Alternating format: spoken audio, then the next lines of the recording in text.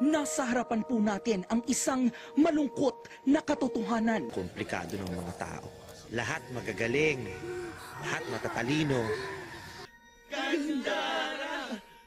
Ganda